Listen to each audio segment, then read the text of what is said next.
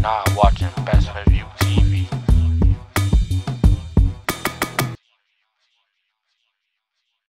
What's good? What's good? Who we got on Best Movie What's TV? going? T- What's going, man? It's the thriller they call Killer. Your boy JayyKillah, man. wait, wait, wait, you said it's the trailer you call Killer? Nah, the thriller, man. The, thriller. What, what, what, what's all that mean, bro? Where all that energy come from early on, bro? I mean, you know, I'm an entertainer. You feel me? That's why I say I'm like the thriller. You know what I'm saying? Like it's like Michael Jackson, like like thriller. Like he, he was a real entertainer. You know what I'm saying?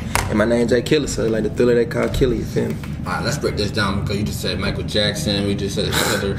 Yeah. You're an entertainer, right? So, Yeah. Uh, I mean, first ask you about Michael Jackson, right? Did, did Michael Jackson play an influence on you musically growing up, or You could say that, cause I I, I like like. Oh, like I, I, got, I kind of got like an old soul, so like I be into like Michael Jackson, New Edition, like all that type of like good music like that. Mm-hmm. You could definitely say it played an influence. Right, right, right. And you say you you're an entertainer, right? Yeah. I feel like most of the time rappers get caught up in the, I'm just a rapper. Like, Yeah. feel me? What made you say, all right, I'm gonna be a rapper, right? But I'm gonna be an entertainer too. Like, I gotta feel, I gotta find a way to like be different, stand out. Cause a lot of times I feel like that's where rappers get caught up in the like, Yeah. like you feel me?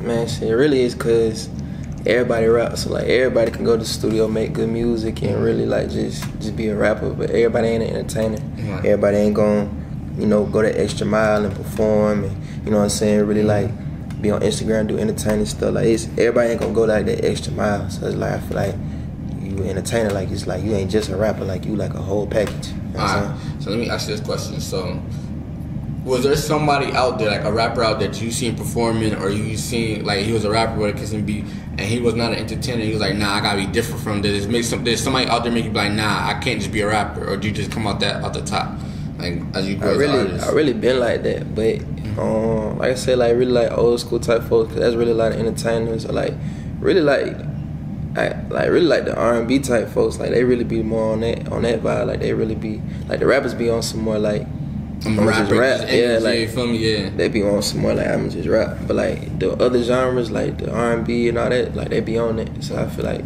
you do music, it's like everybody be on should be on it. You know what I mean? Or so would you consider yourself an R&B like an R&B nigga? Would you just say consider hip hop? Feel me?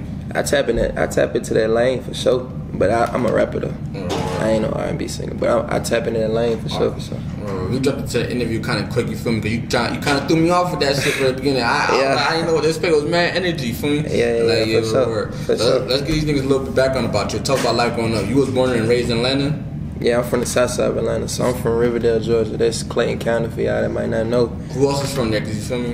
Um, it's a lot of like big folks that's from there, like Waka Flocka, um, Ciara from there. Mm-hmm. Um, uh, a lot of big producers like uh, Southside. Mm-hmm. Um, like a lot of, it's a lot of folks that came out of there for real, for real.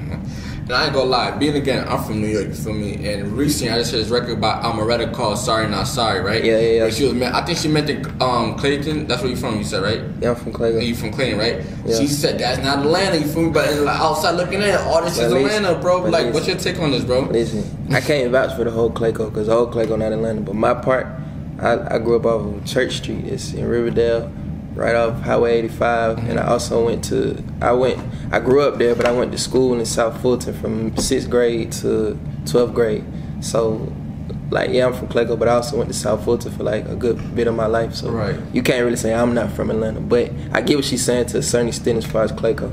So, Right. that's my take on it. Right, let me ask you this, bro, because again, I'm also looking out from New York, for me? Yeah. Would you say like, all right, so like, let's say, 'cause I don't really know all the shit, I just know Atlanta's Atlanta. But Mm. you say like Clayco, it's the same thing. Like, do y'all move the same way as somebody from Decatur move or something like that? Or is it like, could you tell the difference between everybody, like, from what part of land they from? Like, could you tell the difference? You could tell the difference. I mean, everybody like in the Metro Atlanta area gonna have similarities, but it's like it, it be a difference. Like the West Side, like folks from the West Side don't act the same way as folks from the South Side, and the South Side don't act the same way as folks from the East Side. Right. So- all right, so let me ask you this. All right, because I know sometimes you're like the north side niggas, the niggas getting money, the south side niggas, the ones robbing, the, the east side niggas, the ones fucking bitch. What's the south side niggas do, bro? What's the south side, man? For one, we the we the we the best dressed. Like You got the best dress, you got the we, best we got the we got the swag for sure, and then we get to the money. Like for they say 85 South get the money, so 85. Wait, that's 85 South. That's DC and them shit, right? that's the 85 South show, but that's Uh, not like They don't got nothing to do with the South Side though. nah. nah. Oh, I was about to say. I, I didn't know uh, what's called was from the South. Where Young Thug and them from? He from Cleveland. Cleveland. That's the East Side. That's South Atlanta. South. So it's a difference. So you got South Atlanta, that's like the south, like the southern part of like the city of Atlanta. And then the south side is like the metro Atlanta area, like the south side of the metro Atlanta area, if that makes sense. Uh, not really, but somebody out there gonna understand type shit. I'm gonna have to look at it, think about it again, cause I don't really know you through and through. Yeah. But yeah, you say you grew up in the South Side Atlanta. You feel me? You went to school, different places and shit. Yeah. All right, let's talk about your upbringing. You feel me? What was you into? Like how was life growing up for you and shit like that? Um, so you know what I'm saying, like a little bit of good, a little bit of bad, you know what I'm saying? Um, I really was like kind of, I was always focused as a kid. Like I always kind of like had big aspirations. So, you know what I'm saying? Like, and I had like older parents, so like they was kind of on me a lot.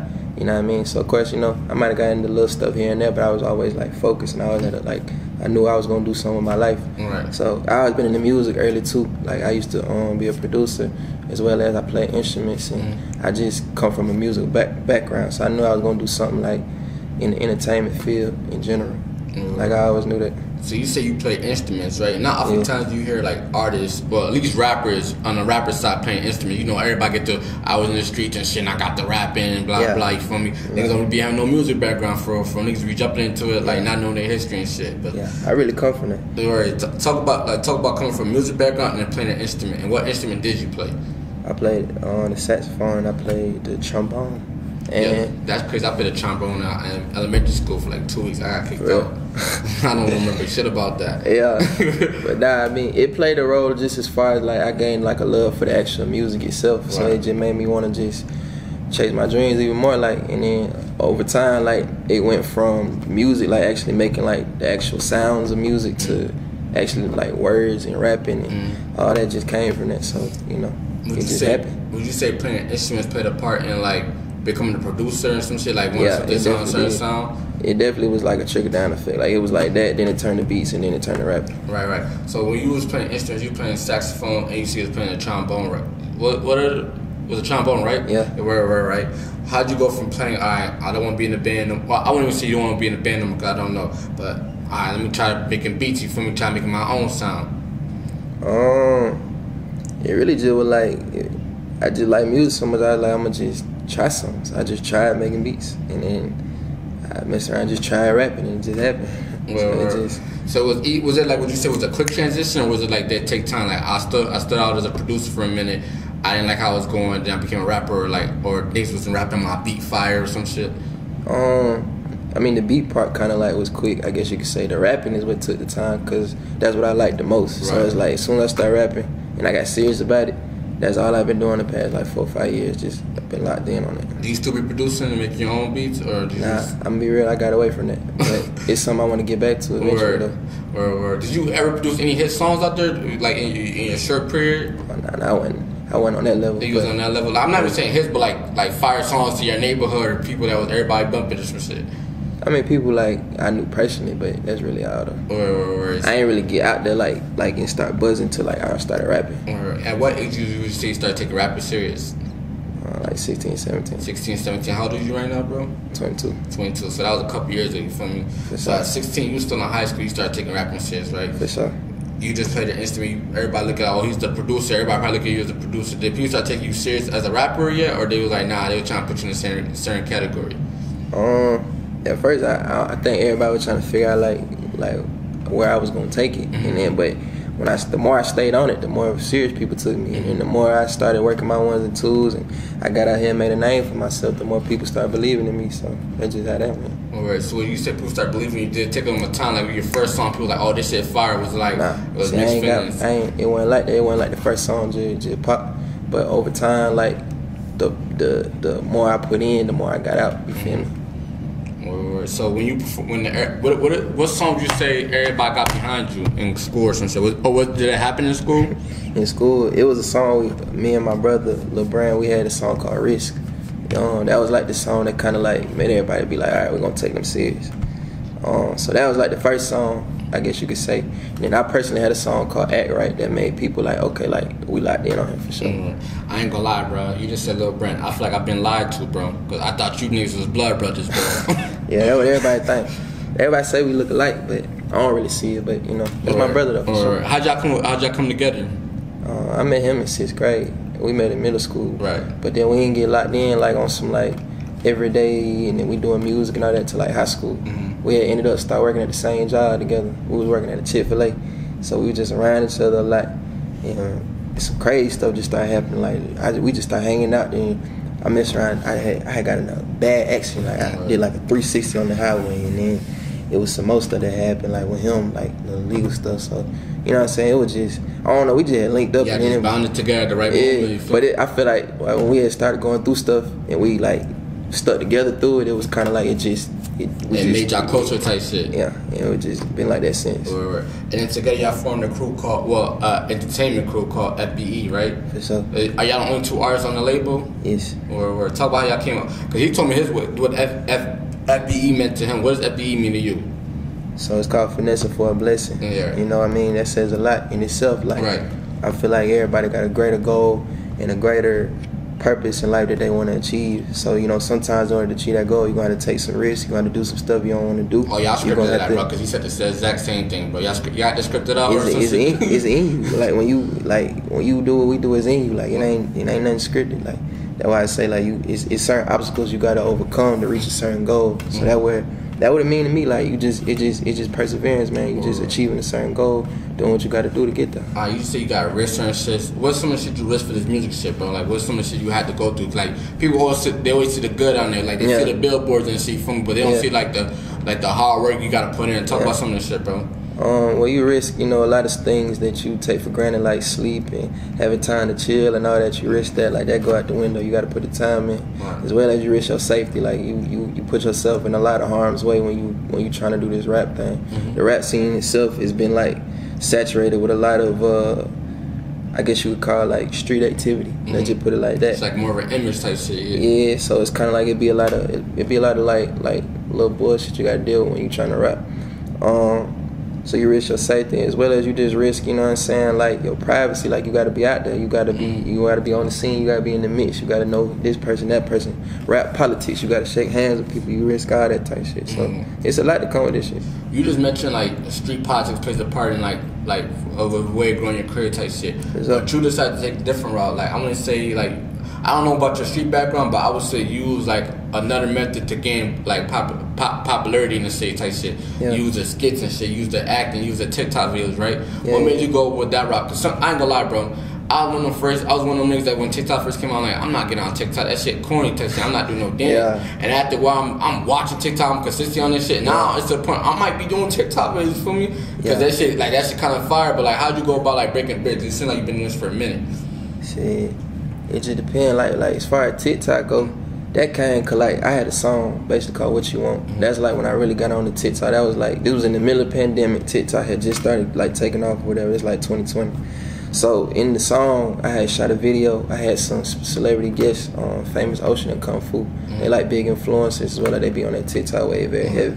Along the way, I got cool with them. I got cool with this other influencer called uh, his name was Jakari, and a bunch of other flu- influencers like I had met like while my song was buzzing. Mm-hmm. So like the more I had like just been around them, and it's more as like I got exposed to like that world. Mm-hmm. I saw like There's that- no way to yeah, like I saw like like I would be dumb to not tap into that. Right. So it's kind of like that really kind of got me like on that that Right. wave like kind of more heavy. You know what I'm saying? Or, Cause I see your Instagram bio says actor. Was you already thinking about becoming an actor before TikTok, or did TikTok like find another method for you? Like, I wanted to be an actor since like a kid. A So like, yeah, TikTok just came along the way, but I I wanted I've been wanting to act. Though. Right. I still want to act. You know what I'm saying? uh, you say you got short movies coming out. Like, what type of actor you want to be? Like, do you want to be a funny dude? Do you want to be a, a rap, a one that's come up with rapping? Like, what type of actor you want to be? Uh, that's a good question. I feel like What would you say? What, what like, this, like this is like what you call it, your pitch. You feel me? This is your Yeah. pitch. You feel me? Why should they put you in the movie? And what role should you get? Man, I feel like you gotta put me in like a real life type movie. Like like the, it gotta have a message. Like the movie gotta be be some form of like like we're going on a journey and we're going on some type of adventure. I feel like I'd be good for that just cause like it's like I wouldn't be acting really. I really would just be how I am in real life. So it's mm-hmm. kind of like you wouldn't have to really train me. I wouldn't have to. I wouldn't have to practice. I wouldn't just like I would just know what to do. Like Right. if I was put in a movie like that. Right. And I seen like you. I ain't gonna lie. When I see your TikToks, or when I looked at it, I took a quick look at it. It was like you're on some comedian shit. for me? Yeah. Could you so you, could you see yourself becoming a comedian too, or Nah, I would never be no comedian. I never just be no comedian. it just go ahead to be an entertainer, like I was saying. Like you just gotta know how to just do that. you know? wherever? Alright, let me ask this question because this is a little bit off topic, right? Yeah. T.I., he wanted to go from Atlanta. You feel me right now, right? And he decided to take comedian. I, I, have you been paying attention to that, or do you? What's your take on that? You said who? T.I. Oh, yeah. Oh yeah, I seen Everybody I seen going on it. this Shit, bro. What's your Yeah. take on that, bro? I mean, you know, Do you he- feel like he- do you feel like niggas should stick in their lane sometimes? Or you feel like it's cool to try different shit out sometimes? I feel like shit, like you do what make you happy, but me personally, I'm just speak for myself. Like I would never just go on some like I'm finna go do stand up or go make people laugh. Like I make people laugh, it just, it just happy. Right. So you know what I'm saying. Mm. But to each his own, though. You feel me? That's a fact. That's a fact. So. I ain't gonna lie. We went through your catalog real quick, right? Yeah. You never dropped a project, but you've been rapping since you was 16. I want to say that's like five, six, seven. What's Yeah. going on, bro? Why, why don't we got a project from you, bro? Um, it's a couple of reasons. Like, see, I've been, I've been, I take each single pretty seriously. So like, although it's been a long time gaps in between, it's like each single gets like a whole campaign type shit. So it'd be like a whole movement behind each single. So I've been trying to build upon each single so that when I do drop a tape, it just makes a certain amount of sense. But um. I'm definitely working on that right now. Like my project, you know what I'm saying, long overdue. And as well as I understand, like I got to put out more music for the people. So I'm working on that now. You know what I'm saying? It's, it's, it's, it's on the way. You feel me? So make a promise to us, bro. We're gonna keep this project, bro. And we're gonna we gonna hold you to your word. Uh, you said when? When yeah. it's gonna be? Yeah, because It's it's gonna been be- too long, bro. We need a project, bro. I promise it's gonna be 2022. 2022, right? For sure. So I ain't gonna lie. If you come back here January 1st, 2022, project, bro, you gotta you gotta come on. You gotta do you gotta do Nah, I like ain't- 100 push-ups, something, Um, bro. I don't, I don't like to lie, so you feel me? It's be so all right, so let's do a deal right now. If you don't got a project out by January 1st, 2023, you gotta do 100 push-ups. 100 push-ups. 100 push-ups. Ah, yeah, I got So you. that's bet. It's up, All right, we're gonna hold y'all to your word. Don't be It's on camera, too, Yeah, don't, don't be So, yeah. calls and shit. so, I got so you say you've been getting a single, right? And you have one of the single called "What You Want" or some shit. Yeah, now that was the one I was talking about. Like I had the, I had the celebrity guests and all that. Right, right, right. That like my biggest song to this day. Word. And everybody fuck with this shit, for me? And again, to us, you feel me, like, us, because I'm from New York again. It like, you go to Atlanta, you got a buzzing song, everybody get behind that song, everybody get to pushing that song. How was Yeah. it for you, bro? Because you feel me, that's how I look on the outside looking at it, but for up and coming artists in Atlanta, it might be different. Like, it look easy as fuck, but to you, like, it's like, it didn't get to as high as you wanted to. Yeah, I wouldn't call it easy. It definitely was a lot of, uh, like I said, it's a campaign. It was a lot of time and effort that was put into getting that out there because I don't got no manager and we are the label, so I do everything myself. Um, but that was like my biggest song to date. Like I said, I had I had a lot of people on board that was supporting that song. A lot of big folks.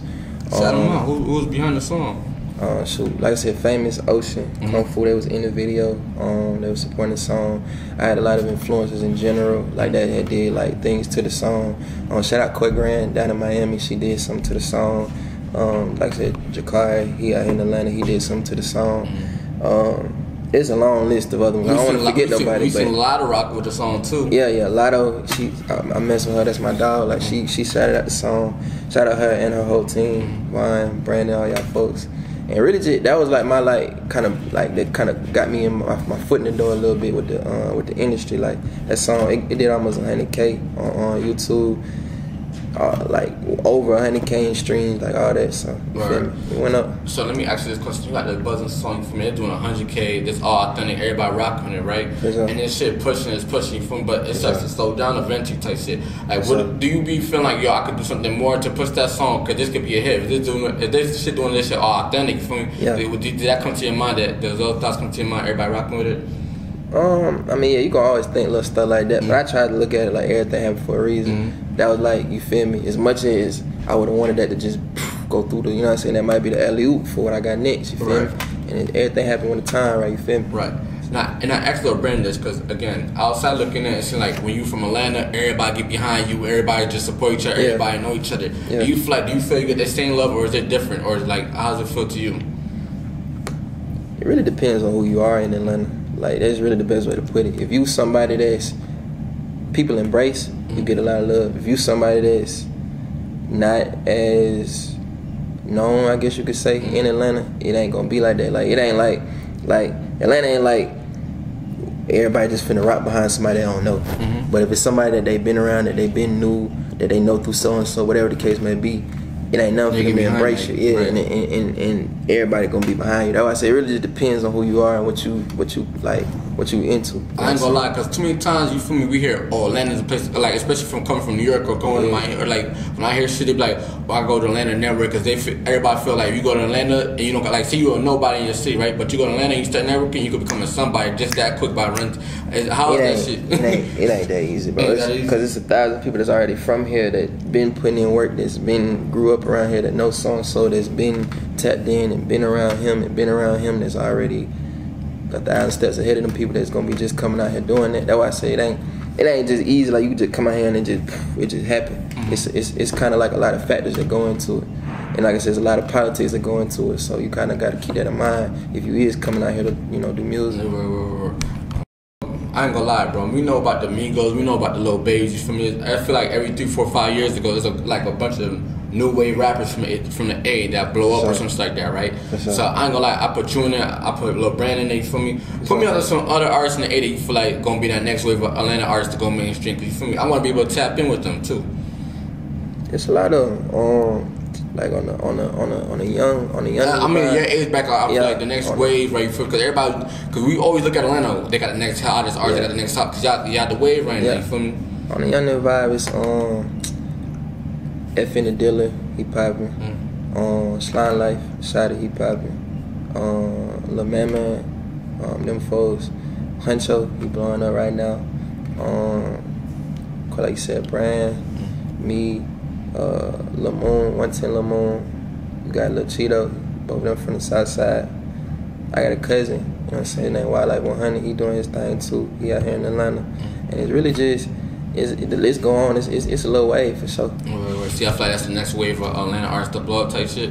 On God, it so, is. what do you think you're missing? What do you gotta do for you to like to take off now, bro? You feel me? Because you, you said you got a song that had 100k that hold the C Rocket. Yeah. You, and I, see, I know you got a hit coming because you fired, bro. You feel me? I was listening to Appreciate a lot of your music. Appreciate What do you feel like you gonna do this time different with your- a new approach if you got another song like that?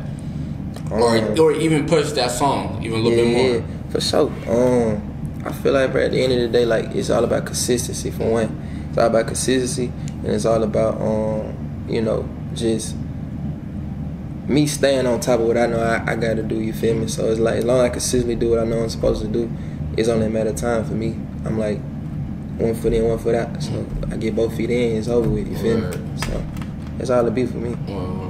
All right, so we know we talked a lot musically about you. What what's some shit you don't be doing? What's some shit you be doing when you're not doing music, bro? Like get them a little bit like more. I know you do skits like besides Yeah. entertainment, bro, because we know you're entertainment, Yeah, bro. besides So, entertainment. yeah, entertainment, bro. Oh, beside entertainment, uh, I got a clothing brand that takes a lot of my time. Uh, it's called Finesse Way Clothing. Next way clothing. Yeah, we got a whole clothing brand that is it's its own entity for real. Right. So that take a lot of my time. Um, and if I ain't doing that or the music, you know, I, I'm really just I'm really just trying to get some money, bro. I ain't gonna cap. All right, that's what's up. That's what's up, though, bro. I appreciate you for this interview, first of all, too, bro. yeah, my I ain't gonna lie, we caught we did this shit kind of last minute, bro. Yeah, so quick shit, fact. you feel me? So Yeah, we have to back soon just to get some more Yeah. of that type shit. But shout you out. You good in Atlanta, man? You Yeah. out anytime, bro. shout out Best Point of View TV for doing this interview with you, bro. Shout out Best Point of View TV. It's your boy JayyKillah. Follow me on the gram at J A Y Y K I L L A H, man. Stay down out right now. That's the single. I'm going up, man, all the way. All right, we out. For sure. Trials and tribulations. I'm just trying to live my life, hoping to make the right decisions. Cause I wanna live it right. I remember nights, no sleep, feeling weaker than seven days. Now I'm using my clever ways to make sure my songs getting played. But these niggas doubt me, they think I'm not gonna make it. But soon I'm gonna be rich and happy, and girl getting naked. I promise you, I'm the best supreme Nakshi. I'm on the rise, smoking dope, and I'm getting high. Spirit, she floating to the sky. I wonder if they go think I'm a joke because.